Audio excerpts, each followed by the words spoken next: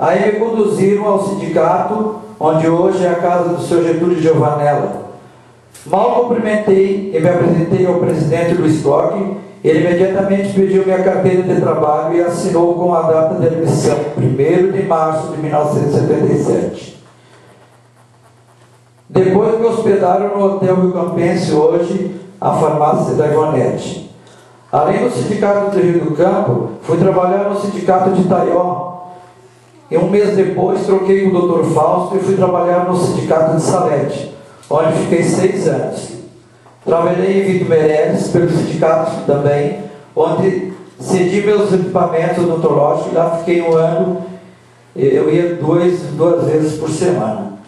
Através do prefeito Ernesto Bernardino, fui credenciado para trabalhar pelo INPS em meu consultório particular. Depois fui contratado pela prefeitura para trabalhar no posto de saúde e posteriormente fui contratado pelo Estado. Em 1971 abri o concurso para dentista no Estado. Eram duas vagas, todas para Blumenau. Passei eu e o doutor Icanor. Queriam que eu assumisse Blumenau, mas graças ao prefeito na época, o senhor Lino Nils, e ao ex-prefeito Ernesto Bernardino, o governador atual, Esperidião a mim, deixou eu assumir na unidade sanitária de Rio do Campo, onde estou até hoje. Quando Santa Terezinha foi emancipada, fiz concurso para a unidade sanitária, onde passei em primeiro lugar. Lá trabalhei até me aposentar. Também joguei futebol pelo Cruzeiro da Serra, a Floresta, onde que pelo primeiro participei de vários campeonatos da Liga Rio Sudense por muito tempo. Também joguei futsal pela CME, como também voleibol. Fui primeiro presidente da CME, onde fiquei como presidente durante seis anos. Tipo ditadura, né? Também participei da criação do brasão e da bandeira de Rio do Campo. Como vocês veem, não cheguei a viajar na Arca de Noé, mas pisei no barro, né? Hoje tenho consultório particular em São João do Mirador, tem Varaneira, Santa Terezinha e Rio do Campo. Senhor presidente, senhores vereadores, demais presentes, há muitas razões para amar essa cidade.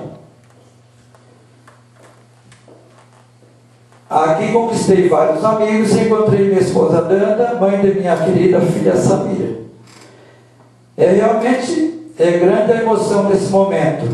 Agradeço a todos e principalmente ao autor da ideia de me conceder esse título tão importante, o vereador presidente da Câmara, senhor Adilson Derrete. Sei que esse título deve-se muito ao atendimento, meu trabalho com os excepcionais, atendendo-os com muito carinho e compreensão na unidade sanitária e em meu consultório particular. E também, perdi. E também pela contratação do meu funcionário e amigo Marcial Rosa. Vocês talvez estejam curiosos como foi a contratação do Marcial.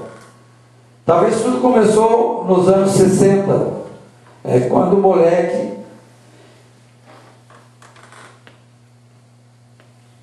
quando moleque, minha falecida mãe me ensinava a não ter preconceito de nada nessa vida. Nunca fazer troça, troça gaúchamente falando é chacota de ninguém, nem de deficientes, nem de ninguém, pois todos somos igual perante a Deus. Tanto que sempre que íamos ao cemitério lá da nossa cidade, na entrada ela sempre mandava eu olhar um dizer que dizia assim: aqui esvaece o ódio, o orgulho e a vaidade, reina a paz, sossego e a igualdade, pois ninguém é melhor do que ninguém. Foi seguir esses princípios que quando Marcel chegou pela primeira vez na unidade sanitária de cadeira de rodas e posteriormente carregado até a cadeira de dentista no colo do tio dele, eu perguntei se ele tinha computador, se queria fazer um curso de computação. Ele trabalhar comigo como secretário no consultório. Ele mal me olhava, ele mal falava de tantas timidez. Né, Marcelo? Na próxima sessão, já deu para notar que sua autoestima era outra. Ele não chegou mais de cadeira de rodas, e sim de andador, já me olhava nos olhos e disse: O meu computador é antigo, não funciona mais. Quero fazer um curso e quero trabalhar contigo.